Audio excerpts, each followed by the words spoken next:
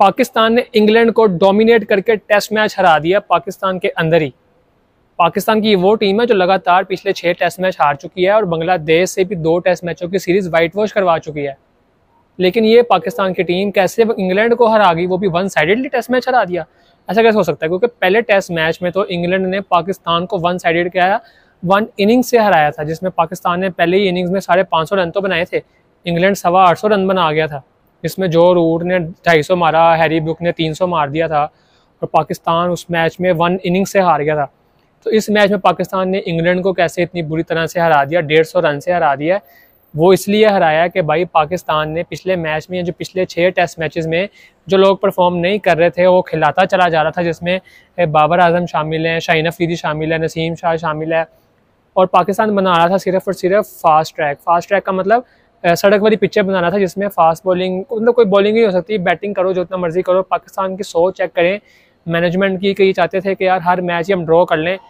उसी पाकिस्तान की टीम में जब सिलेक्शन कमेटी में आकिब जावेद साहब आए, उन्होंने आते साथ ही कहा, यार, ख़त्म करो ये फास्ट ट्रैक फास्ट ट्रैक कह रहा हूँ मतलब ख़त्म करो, ये सड़क विकटें जो है, बनाओ आप स्पिन विकेट और अपने स्पिनर खिलाओ यार दो तीन इंग्लैंड कैसे जीत के जाएगा, देखते हैं कैसे जीत के जाता है।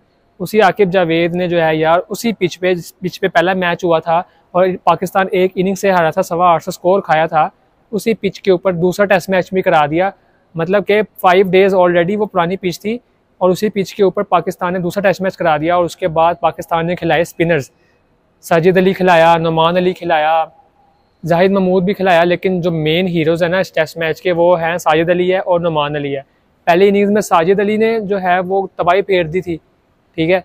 और दूसरी इनिंग्स में नुमान अली ने तबाही फेर दी अब इंग्लैंड टीम की पहली इनिंग्स में सात विकेट ले लिए साजिद ने और दूसरी इनिंग्स में आठ विकेट ले लिए नुमान ने।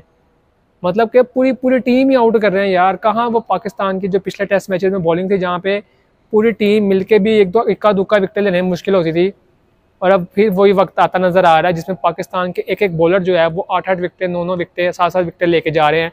और इंग्लैंड की वही टीम जो सवा आठ सौ बना रही थी वो बेचारी इस दफ़ा मेरे ख्याल से दो का टारगेट था, वो भी ने पूरा कर सकी और डेढ़ सौ रन से हार गया ये मैच पाकिस्तान अब इस सीरीज़ को भी जीत सकता है। वो कैसे कि अगला अगला टेस्ट मैच जो है वो पिंडी में है। अब पिंडी में आपको पता है कि वो बनती है सड़क वाली विकटें ना?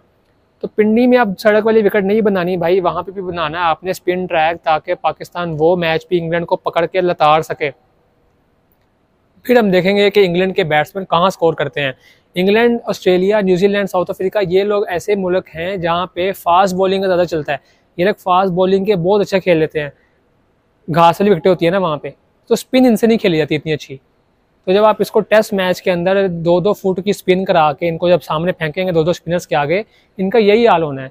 जब ये इनके मुल्क में दूसरी टीमें जाती हैं, एशिया की टीमें जाती हैं तो ये लोग क्या करते हैं? इसी तरह की फास्ट विकटें बना बना के ये पाकिस्तान को, इंडिया को, जितनी भी एशिया की टीमें हैं, इनको लताड़ते हैं ना पकड़ के। तो पाकिस्तान इस तरह क्यों नहीं करता? हालाँकि इंडिया जो हमारे पड़ोस में ही है, खैर उसका भी एक बुरा हाल ही होगा अपने टेस्ट मैच में। वो जब भी कोई टीम आती है ना तो स्पिन विकटें बना के उनको लताड़ता है वहाँ पर उसका भी क्या हाल हुआ हुआ है? पहले इनिंग्स में बेचारा वो भी छियालीस पे आउट हुआ हुआ है। और न्यूजीलैंड ने 400 मार दिया, जिसमें टीम सऊदी अकेला पूरी इंडियन टीम से ज़्यादा बैटिंग करके स्कोर करके 63 स्कोर करके गया है। अब उसी उसी तरह देख लें इंडिया जो है वो स्पिन विकटें बना के पूरी दुनिया की टीमों को लताड़ता रहता है। और अब वो एक गलती की वजह से कि उसने फास्ट बॉलिंग मतलब कि वो ओवर स्कार्ट कंडीशन थी और इंग्लैंड, इंडिया ने पहले बैटिंग ले ली। इसकी वजह से न्यूजीलैंड ने फास्ट बॉलिंग के ज़रिए इंडिया को पकड़ लिया।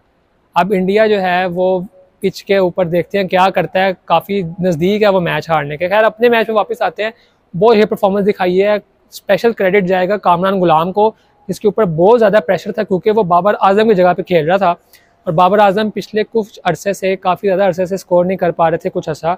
तो कामरान गुलाम के ऊपर बहुत बड़ा प्रेशर था, लेकिन उसने जिस तरह हैंडल किया और पहले इनिंग्स में इसने सेंचुरी स्कोर की है, उसके बावजूद पाकिस्तान जो है साढ़े तीन सौ क्रॉस करने में कामयाब हुआ था।